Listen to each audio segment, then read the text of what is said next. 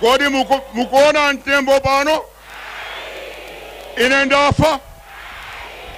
Afa ndiwo afa pa May 21 pa May 21 pa May 21 ndame atapita kumanda.